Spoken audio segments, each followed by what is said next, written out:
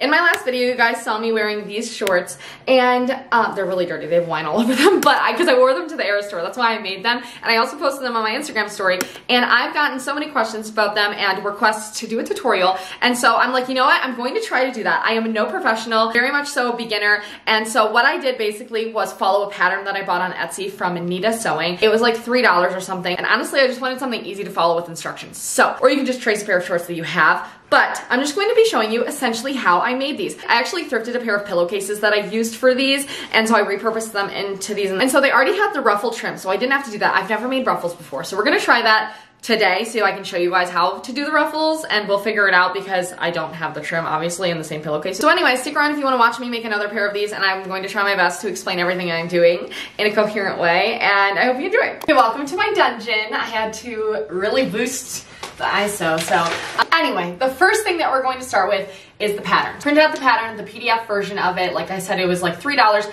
down below. And then I lined up all of the lines with each other and I taped it together, cut it out. And then I'm left with two pieces, which will create four pieces. Eventually I'll become one piece. Personally, I'm no Jenna Phipps. And so whenever I was watching Jenna Phipps do like the PDF patterns and like put them together, I was just like, that looks crazy. I'm not able to do that. Like, it's just too hard. And then I realized it's literally just taping the papers together and creating one big piece of paper. It's a lot easier than I thought at the beginning. So if you are also under that misconception, just letting you know that it's very easy. So anyway, that's what I did with these. And then we're left with these two. And also once you cut the pattern pieces out, it's gonna look big. And these are big, but they scrunch up and that's what gives them that like really nice flow, I think, is how wide they are. And then they taper in at the waist. Um, and that's what I personally wanted out of a pair of shorts. And then as far as supplies go, this is what I'm going to be using today. My brother sewing machine. This is the CP100X model. A sharp pair of scissors, sewing clips or pins, elastic for the waistband, the same color thread as your fabric, and then the fabric, which I'm just using a thrifted sheet. As you can see, I cut the first panel out. In the instructions, it says front cut one pair mirror image. So I'm just going to move that over, move this over so that I can flip So I can just flip it so it's a mirrored image and then we'll have two of these that will connect. Now we have two of the front panels. Now we have one of the back panel and then we do the exact same thing and cut on a mirrored image. Now I have two of the back panels as well.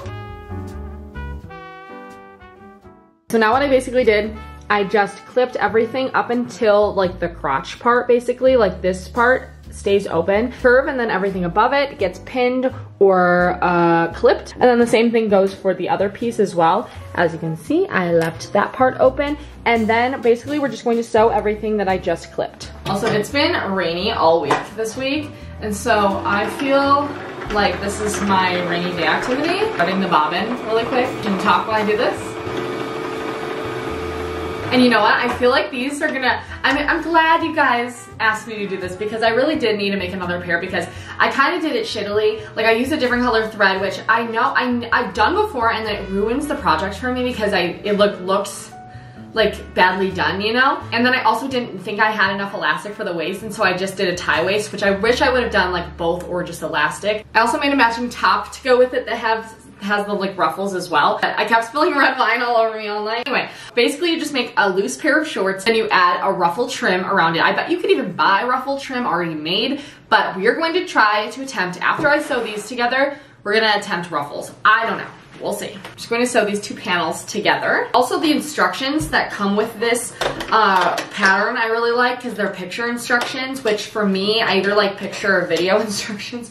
And so it's been very helpful think I'm gonna add a little bit more to the bobbin. I'm gonna try this tray out. I haven't used this tray since I started using I don't think I need to, but like it kind of gives like a lot more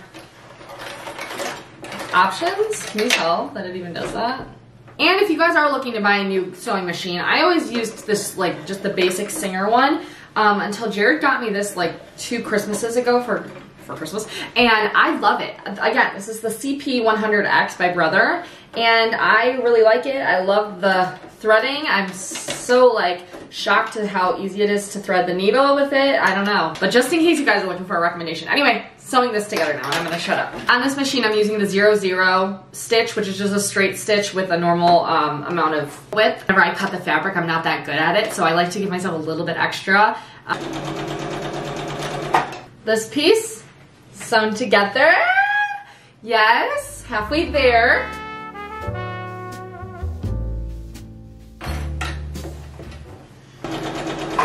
What looks creepier, me not smiling during it or me smiling? I feel like me smiling kind of looks more psycho. Essentially, you just put the two patterns together or both sides and where the seams are in the middle and then you pin the crotch area together and the sides and then you sew it. And I just start at the crotch because for some reason on this pattern, I don't know if it's just my pattern because of the way I cut it out or something, but the butt part is bigger, but maybe that's just because the butt's my butt's bigger, you know what I mean, than the front. Okay, now that that is pinned all down the side, um, into the crotch area as well, and then on the other side, now I'm just going to sew that.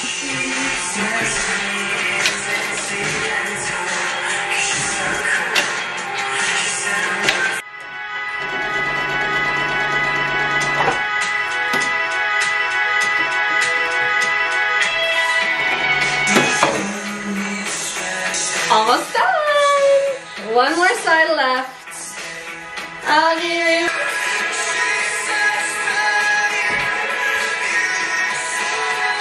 So we're trying them on. I like personally how high-waisted they are, um, but you can make your adjustments from here after everything's sewn. I think I'm gonna leave, I think I'm going to make these a tiny bit shorter just because we are adding the uh, you know, the ruffle trim and it'll make it longer and I don't want them to be super long. I like them to kind of hit me like right mid-thigh and then this height should be good because once it folds over onto the top for the waistband, I think it'll be perfect. So I'm just going to chop these down a little bit, make sure they're secure, and then we're gonna do the ruffle. This is how much I just trimmed off of it for reference, just in case that interests you.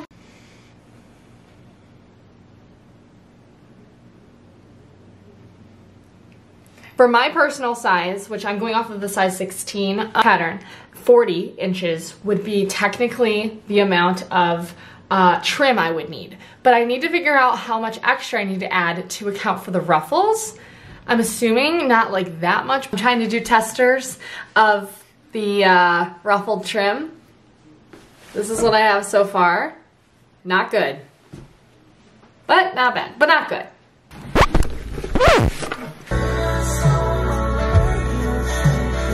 I left the house. I, okay, here's the thing, you guys.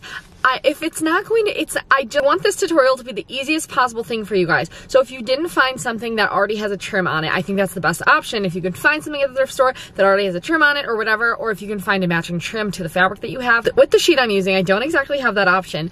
And I'm like, you know what? I think I'm just gonna go try. I think I'd rather it be a little bit different than the shorts that I have anyway, but then also something that you guys can still do, whether you use brand new fabric, thrifted fabric, whatever.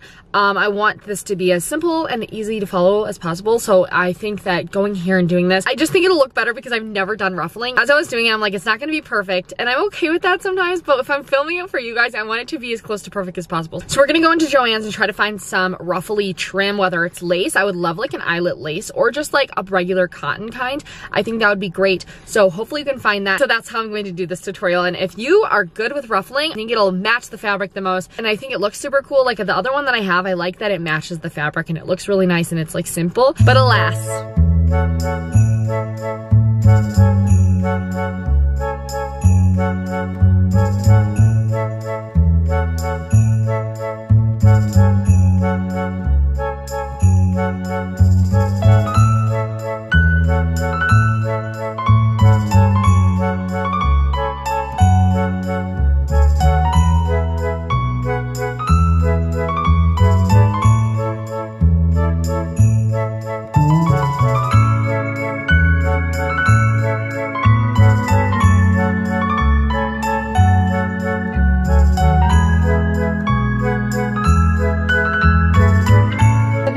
Options that I grabbed. I bought this little lace kind of eyelet looking one And I think it's a little bit off of on color. And so I'm going to skip that and just move directly onto this one, which is a little bit creamier, but once it's actually on there, like it looks way different in the camera, but in person, it's really not that different. And once it's on, it'll be fine. And this is closer, I guess, to the original anyway, and it's more roughly. So we're gonna try this for the trim.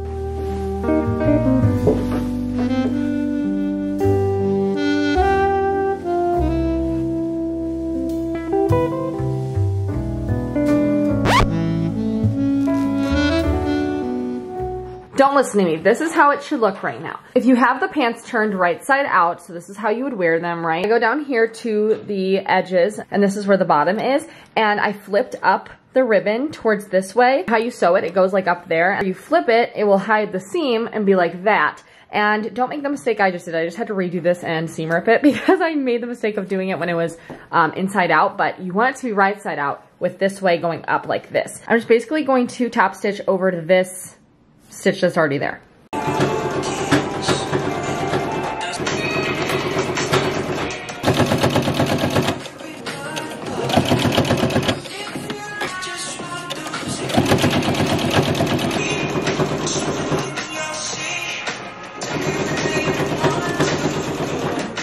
And then this is what you're left with after I've done sewing everything. I'm gonna flip it this way so you can see that's how the seam looks all flipped over. And then I'm basically just going to iron that down.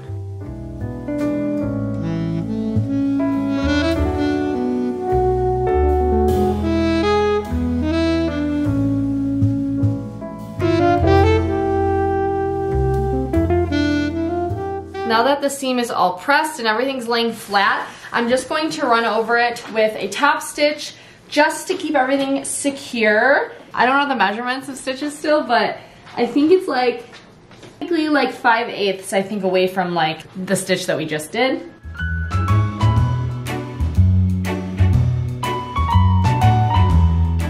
Then we're left with this beautiful stitch work there and dog hair. Love it. All right, moving on to the waistband, I'm just folding it over a little bit.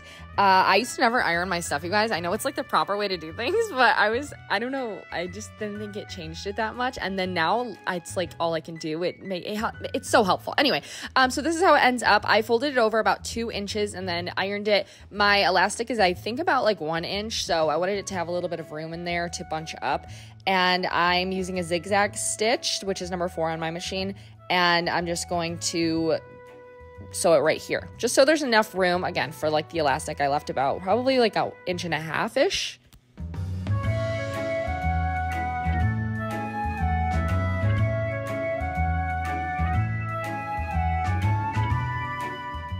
you just make a normal elastic waistband. Um, I'll link a tutorial from TikTok that I have gone back to before that I really like, but now I'm just adding a safety pin to the end of the elastic and threading it through basically. I made the hole a little smaller than I should have, but um, after I did that, I sew the elastic together and then I sew the hole together and we are basically finished.